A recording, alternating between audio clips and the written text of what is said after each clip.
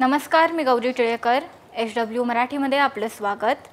एक नजर हेडलाईन्सवर राज्याचे महसूल मंत्री आणि काँग्रेसचे प्रदेशाध्यक्ष बाळासाहेब थोरात यांनी आपण कोल्हापूरचं पालकमंत्रीपद स्वीकारणार नसल्याचं आज स्पष्ट केलं.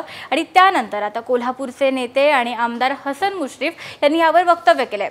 सतेज पाटील असं आता म्हणतील की कोल्हापूरचे पालकमंत्री हे माझे थोरले भाऊ होऊ द्यात असं सूचक वक्तव्य हसन मुश्रीफ यांनी केलंय.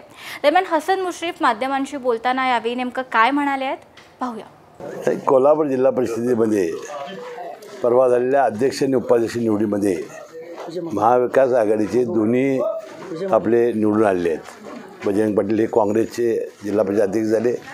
सतीश पाटील हे राष्ट्रवादी काँग्रेस पक्षाचे अध्यक्ष झाले.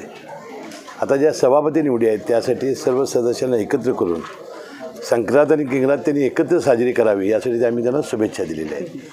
आणि त्या दिवशी आपण पदाधिकारी निवडणार आहोत. पालकमंत्री पदाबाबत काय निर्णय झालेला नेमकं? विश्वजित कदम नगरचं यांचं तुम्ही नाव स्वीकारणार अ, आहे समोर? आहे. आणि नगरचं तुम्ही स्वीकारणार आहात का? नाही नाही माझं स्वीकारच चालू आहे सृष्टीने माझ्यावर जबाबदारी दिलेली आहे. आणि मोठ्या मनानं जर बंटी पाटील सांगत असतील तर मी कोल्हापूरचं स्वीकारायला तयार आहे. आणि देतील असं मला वाटतं ते. मग तुमच्या दोघांच्या चुरस होती म्हणूनच काय- नव्हती जास्त आमदार ज्यांचे द्यायचे असं ठरल्यामुळे ती झाली होती. तर आता बंटी पाटलांच्या लक्षात आलं की बाबा आता बाळासाहेब थोडा स्वीकारला नसतील तर मुश्रीफ साहेब म्हणजे माझा थोरला भाऊच होणार आहे त्यामुळे. जळगावमध्ये आज भाजपच्या जिल्हाध्यक्षपदासाठीच्या निवडीची बैठक झाली. मात्र भाजपच्या या बैठकीमध्ये नाराज कार्यकर्त्यांनी मोठा गदारोळ घातला. नाराज कार्यकर्त्यांनी यावेळी गिरीश महाजन आणि रावसाहेब दानवे यांसारख्या पक्षाच्या मोठ्या नेत्यांसमोरच ही हाणामारी केली आहे. भाजपच्या या बैठकीमध्ये नाराज कार्यकर्त्यांनी चांगलाच गदारोळ घातलाय. कार्यकर्त्यांकडून जिल्हा सरचिटणीस सुनील नेवे यांना काळं फासत मारहाण करण्यात आली. यावेळी जळगावचे आमदार राजू मामा भोळे यांना देखील धक्काबुक्की करण्यात आली. केंद्रीय मंत्री आणि खासदार रावसाहेब दानवेंच्या अध्यक्षतेखाली ही निवडणूक बैठक सुरू होती. या बैठकीला सुरुवात होताच भुसावळ येथील भाजपच्या नाराज कार्यकर्त्यांनी इथे गोंधळ घातला.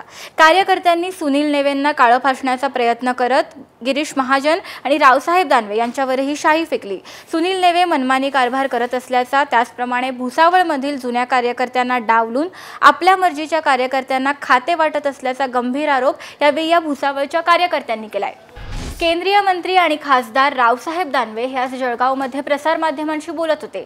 यावेळी बोलताना मनसे अध्यक्ष राज ठाकरे आणि देवेंद्र फडणवीस यांच्यातली भेट आणि भाजप मनसे युतीची चर्चा या पार्श्वभूमीवर रावसाहेब दानवे यांनी प्रसारमाध्यमांना प्रतिक्रिया दिली आहे. यावेळी रावसाहेब दानवे नेमकं काय म्हणाले आहेत? पाहूया. राजकारणामध्ये एक नेता दुसऱ्याला भेटला तर त्याचा लगेच अर्थ वेगळा काढला जातो. मला असं वाटतं केवळ राज ठाकरेच नाही. अनेक राजकीय पक्षाशी वेगवेगळ्या विचारसरणीच्या लोकांशी ते आमच्याशी आणि आम्ही त्यांच्याशी भेटत असतो. अशाच प्रकारची ही भेट असू शकते. काल देवेंद्रजी फडणवीस यांनी सुद्धा खुलासा केला की त्यांची जी भूमिका आहे आणि आमची जी भूमिका आहे या दोन्ही दोघांच्याही भूमिका वेगवेगळ्या आहेत. परंतु त्यांनी जर त्यांच्या भूमिकेमध्ये काही बदल केला तर भविष्यात काही होऊ शकतं. ठाण्याच्या विकासाबरोबरच गडचिरोली भागातील नक्षलवादाचा समूळ नायनाट करू असं आश्वासन आता गडचिरोली आणि ठाण्याचे पालकमंत्री एकनाथ शिंदे यांनी दिलंय.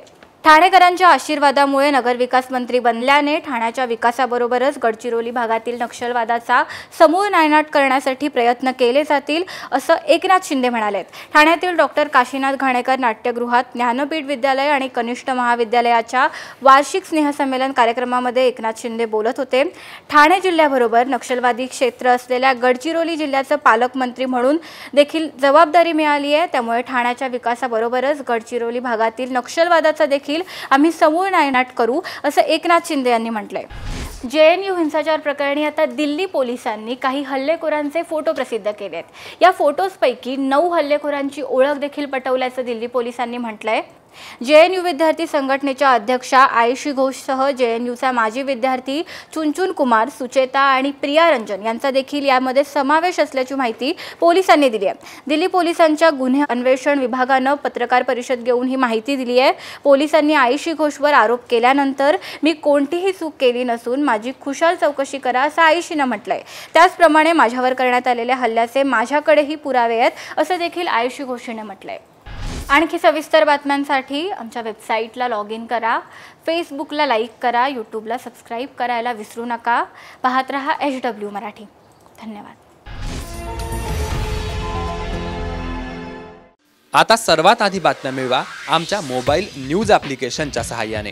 अँड्रॉइड किंवा आय ओ एस प्लॅटफॉर्मवर जाऊन एच डब्ल्यू न्यूजचे ॲप सर्च करा. डाउनलोड करा. आपल्याला हवी ती भाषा निवडा.